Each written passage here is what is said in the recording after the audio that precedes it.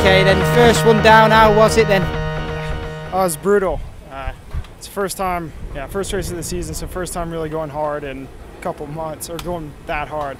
So yeah, of course, finish a little bit of a headache, feel like you're going to vomit, but I guess that means you you went you went hard.